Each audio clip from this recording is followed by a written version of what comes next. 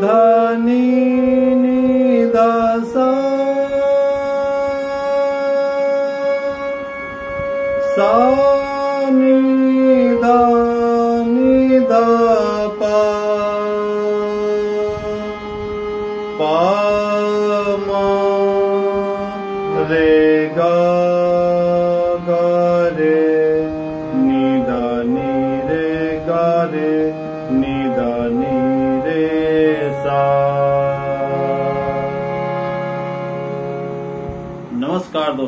मैं एस के शर्मा अपने यूट्यूब चैनल स्वर आलय म्यूज़िक में आप सभी का हार्दिक अभिनंदन और स्वागत करता हूँ दोस्तों।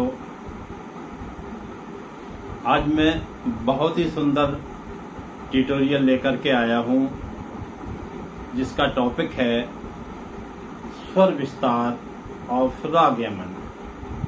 अर्थात राग यमन का आलाप कैसे करें उसकी बढ़त कैसे करें? While we are going to present the ragas how to explore the raga दोस्तों, एक सूचना और है। आपको यदि सीखना है तो आप आप वीडियो को एंड तक देखें। ये नहीं कि आपने मतलब एक मिनट देखा, दो मिनट देखा तो आपकी कुछ समझ में नहीं आएगा। ये जो मैंने आपको नोट्स बताए आपको कहीं नहीं मिलेंगे। लिखे हुए कहीं नहीं मिलेंगे। ये ये हर कोई नहीं बताता है। ये इतना मैंने आपको बड़ी मेहनत से ये ट्यूटोरियल बनाया। आप इसको एंड तक देखें, फिर आप देखना आप कितने अच्छे कलाकार बनते हैं। और दोस्तों, मेरी एक आपसे रिक्वेस्ट है कि सबसे पहले आप मेरे चैनल को सब्सक्राइब कर दें और अगर फ्यूचर में आप सीख, सीखते रहते हैं, हमेशा इस टाइप के वीडियो आपको मतलब ट्यूटोरियल की आवश्यकता पड़ती है तो बेल आइकन को प्रेस कर दें ताकि मेरे सारे वीडियोस आप तक पहुँचते रहें।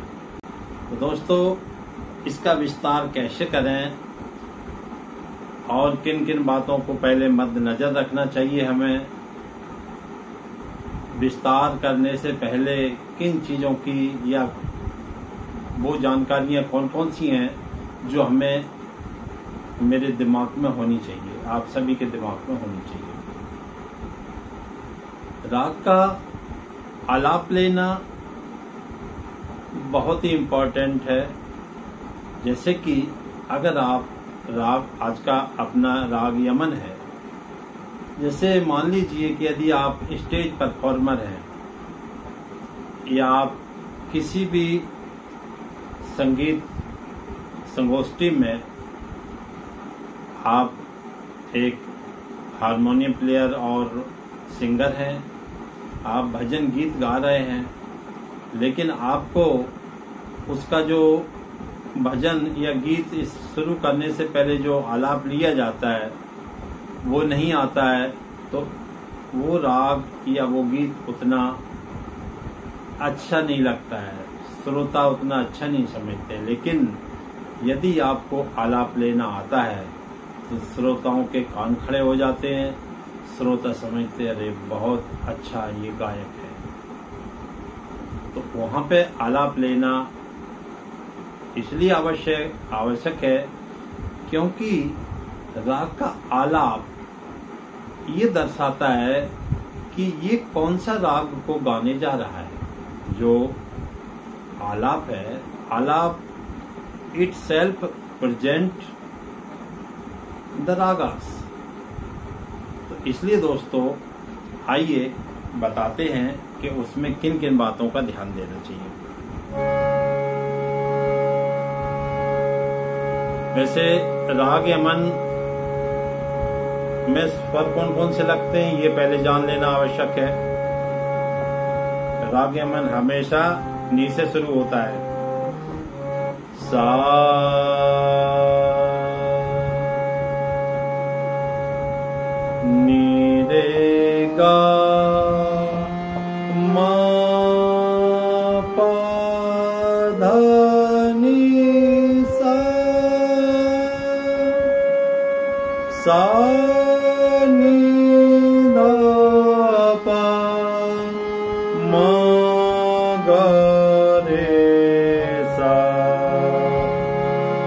इसमें सभी स्वर शुद्ध रूप में लगाए जाते हैं, लगते हैं।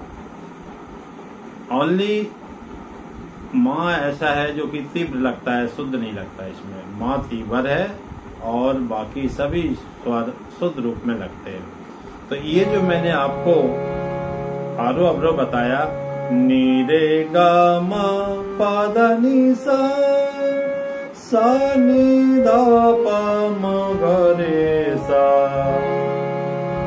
ये राग यमन के स्वर हैं, जो इससे पता लगता है कि इसमें कौन कौन से स्वर लग रहे हैं। लेकिन अभी सवाल ये उठता है कि हमें मात्र स्वरों की जानकारी होने से हम राग की बढ़त कर सकते हैं? जी नहीं नहीं कर सकते हैं। इसके लिए किन किन बातों का जानना आवश्यक है? राग विस्तार के लिए या आलाप सीखने के लिए? ये पर्टिकुलर मैं एक राग आपको बता रहा हूँ और इसको अगर आपने सीख लिया दोस्तों तो आप किसी भी राग का आलाप ले सकते हैं, इसमें कोई डाउट नहीं है। मैं ऐसा फॉर्मूला आपको बताऊँगा, जिससे कि आप कंप्लीटली सभी रागों का अपने आप सीख जाएँगे। बहुत हिंट मिलेगा। Very very hints and very important tips तो दोस्तों, सबसे पहली बात है कि राग के स्वरों की जानकारी होना चाहिए। तो हमें राग के स्वरों की जानकारी हो गई इसमें। सा है साता है, सा, रे, गा, मा मा तीव्र पा धा, नी, सा। ये राग जो है नी से स्टार्ट होता है। वो भी बताऊँगा, नी से क्यों स्टार्ट होता है तो सबसे पहले ये राग के स्वरों की जानकारी। है दूसरी बात है न्यास के स्वर। ये पता होना चाहिए, अन्यथा आप नहीं कर सकते इसका राग का विस्तार। आपको ये पता नहीं होगा कि हमें कहाँ ठहराव देना है, किस स्वर के ऊपर हमें रुकना है। तो आप कैसे विस्तार करेंगे उसका किसी ने बनाया है राग तो उसमें कुछ विश्रांति के लिए स्थान भी निर्धारित किया है, हर राग में। विश्रांति मीन्स जहाँ पे हम थोड़ा आराम ले सकें, अपनी सांस भर सकें। गाते रहेंगे और कहीं स्वर पे ठहराव नहीं मिलेगा तो हम कैसे अपनी सांस भरेंगे? तो जो ठहराव आता है, एक या दो मात्रा का, उतने में हमें सांस लेने के लिए पर्याप्त है वो ठहराव। तो और दूसरी बात यह कि वहाँ पे हमारा जो फ्रेज है स्वर समुदाय है, वो वहाँ पे खत्म होता है। जैसे देखना, नीरे गा देखो गा पे हम रुके क्योंकि गा पे पॉज दिया मैंने। नीरे गा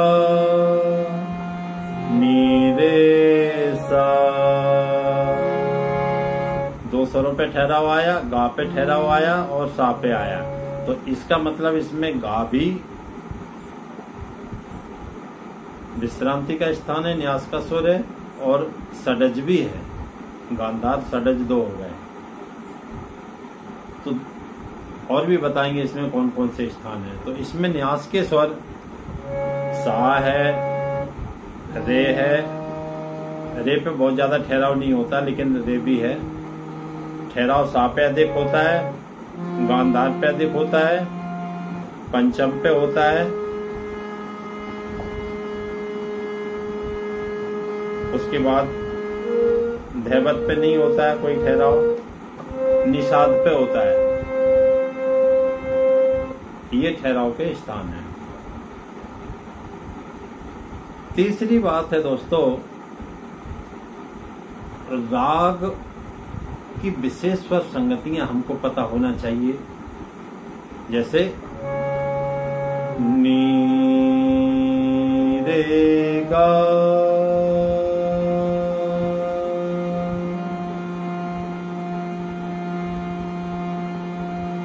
एक एक हो गई ना विशेष स्वर संगति। नी रे गा माधानी निदा पा ये भी विशेष स्वर संगति है। और तीसरा नीरे गा पारे सा नीरे गा पारे सा एक विशेष स्वर संगति ये भी थी और विशेष संगति। नीरे गारे, पारे नीरे सा। दोस्तों, इन सभी चीज़ों का जानना आवश्यक है, तभी की बढ़त हो पाएगी। तो हमें राग के स्वर पता हो गए। न्यास के स्वर भी पता लग गए, कहाँ कहाँ ठहराव देना है हमको। उसके बाद कुछ विशेष स्वर संगतियाँ।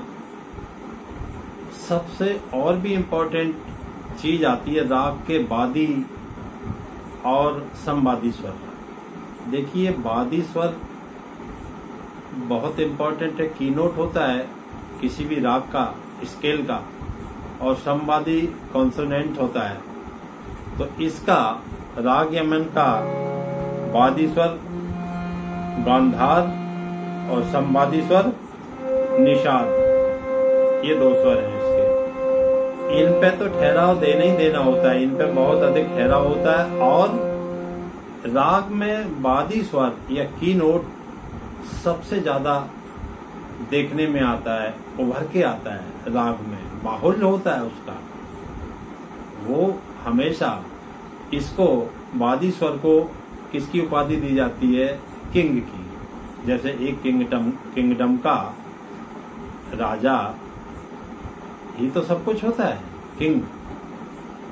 और तो ये किंग हो गया वादी स्वर की नोट और जो संवादी स्वर है, वो है, उसकी उपमा किससे दी जाती है? मिनिस्टर भाई राजा।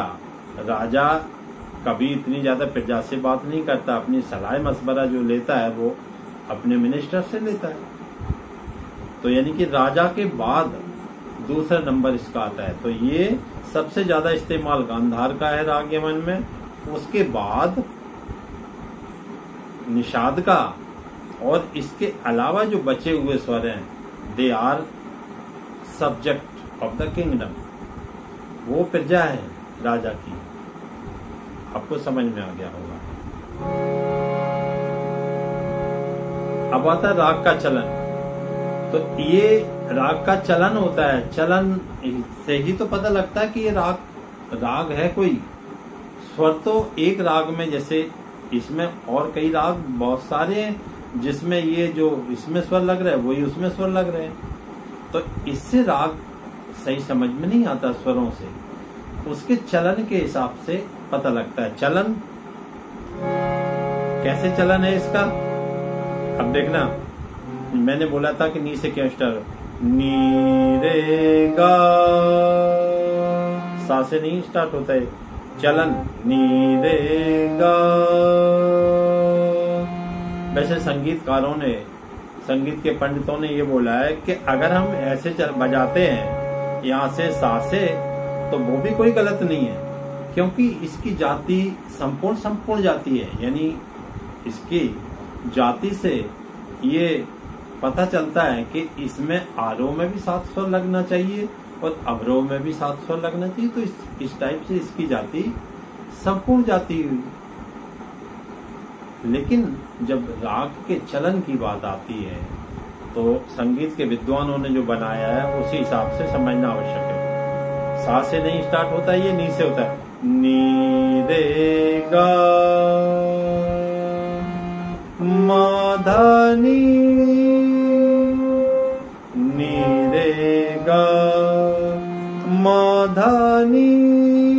देखिए, जैसे अगर मैं इसको नहीं मान लू, माँ को नहीं मान लू तो नी नी रे गा हो गया ना? यानी बैलेंस बराबर हुआ। जैसे स्वर इसमें लग रहा नी रे गा, माधानी। इसको बैलेंस बनाने के लिए राग को इस टाइप से उन्होंने नीचे शुरू किया है। तो इसका चलन चलन इसका सही क्या है? वो तो राग के स्वर हैं। सा, नी मा, पा, धा, नी, सा सा, नी दा पा, मा रे, सा।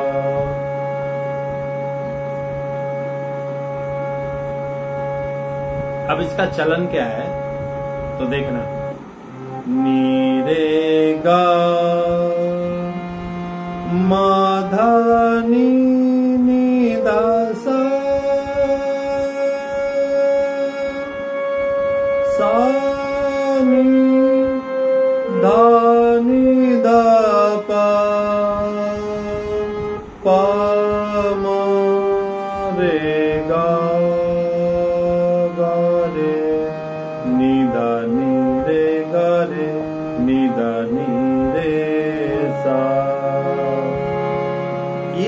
इसका चलन। इसको चलन चलन के हिसाब से पा को हम आरोह में वर्जित करते हैं। जैसे नी रे गा माधा नी नी सा। यानी पा को मैंने आरोह में वर्जित किया है। उतर और उतरते समय पा को कवर किया है, अवरोह में। तो ये दोस्तों, यहाँ तक आपको उम्मीद करता हूँ समझ में आ गया होगा।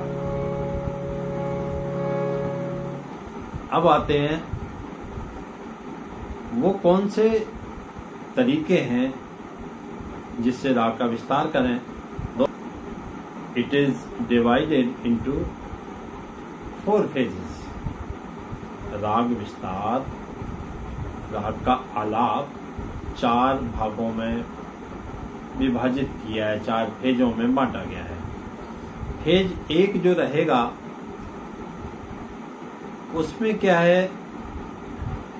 मंत्र सप्तक कवर करना है, उसके नोट्स लेना है प्लस अधिक से अधिक गांधार तक जाना है मध्य सप्तक के। ये पहला फ़ेज़ है। और दूसरा फ़ेज़ आता है, उसमें भी मंत्र सप्तक के यानी कि लोअर ऑक्टेव के नोट्स लगते हैं और वो मैक्सिमम पंचम तक जाता है। मध्य सप्तक के पंचम तक। और जो इसका तीसरा फ़ेज़ आएगा, वो जो है ना, इसके निषाद तक जाएगा। नी तक। लेकिन समटाइम्स कभी कभार ज़रूरत पड़ने पे तार सा भी टच किया जा सकता है। अब आता है चौथा फ़ेज़ चौथे फ़ेज़ में हम तार के सरज तक जाते हैं और उसके बियॉन्ड दैट उसके ऊपर भी जाते हैं, कभी कभार। तो ये चार फ़ेज़ मैंने आपको बताए हैं। अब देखते हैं एक एक करके वन बाई वन दोस्तों राग के प्रोग्रेशन को कैसे किया जाए, ये चार फेजों में बताऊँगा। इसको चार फेजों में मैं कवर करूँगा। पहला फ़ेज़ देखें आप। जो मैंने बताया था लोअर ऑक्टेव के कुछ नोट्स लिए जाएँगे। मैक्सिमम ज़्यादा से ज़्यादा नोट लोअर ऑक्टेव के रहेंगे फ़र्स्ट पेज में और मध्य सप्तक के गांधार तक। सा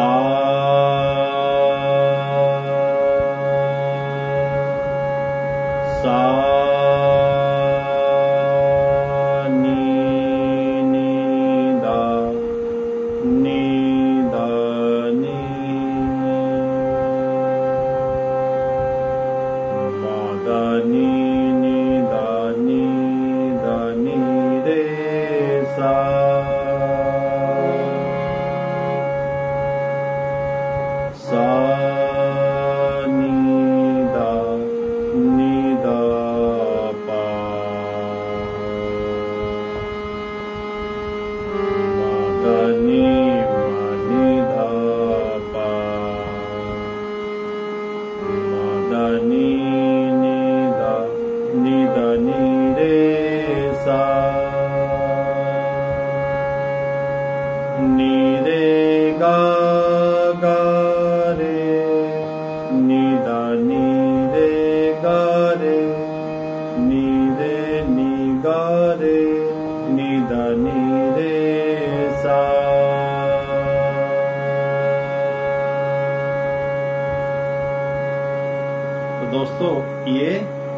इसका पहला पेज हुआ।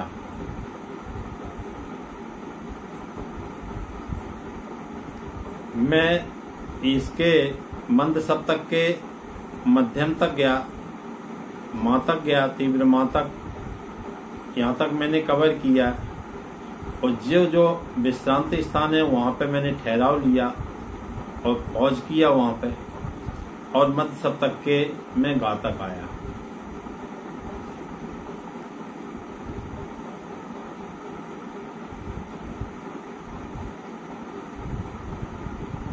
अब आइए इसके दूसरे पेज पे जिसमें भी कुछ लोअर ऑक्टेव के नोट्स लेंगे और इसके मध्य सप्तक के पंचम तक कवर किया जाएगा। आइए।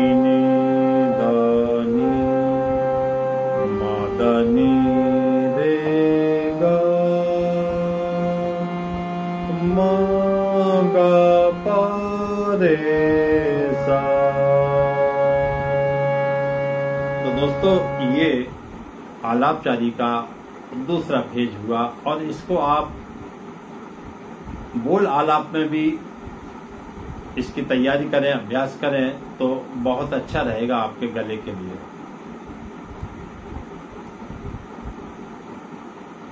अभी आते हैं दोस्तों, इसके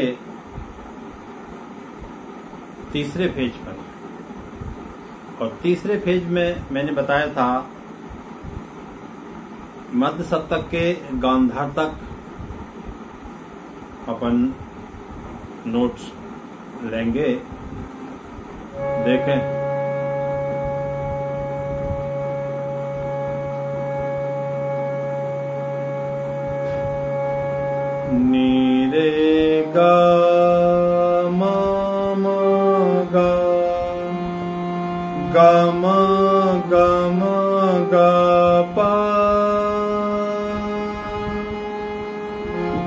मध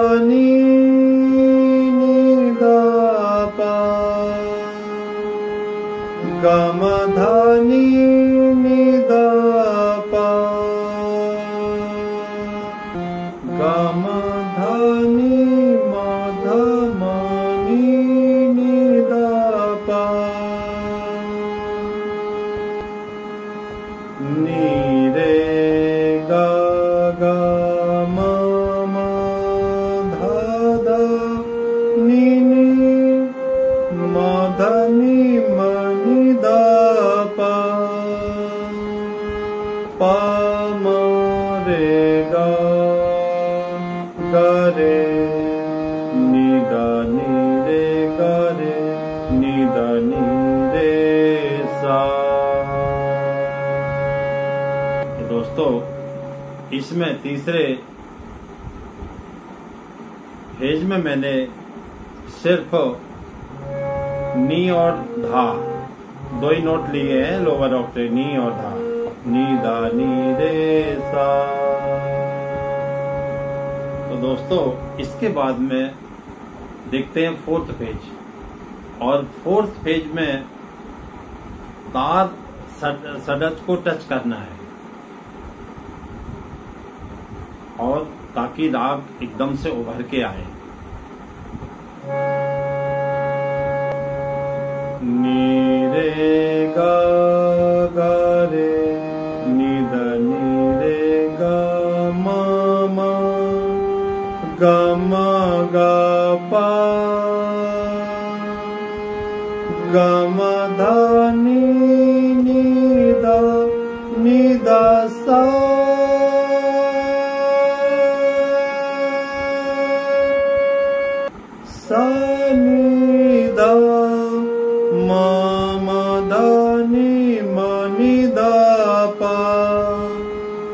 तो